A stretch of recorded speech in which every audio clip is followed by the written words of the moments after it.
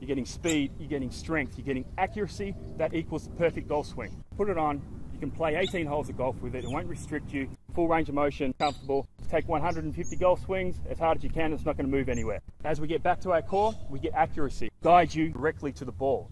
You get resistance. You got speed. You got accuracy. When you take the unit off, you're going to be stronger, faster. It's going to carry over into your golf game, making it the best golf training aid in the world.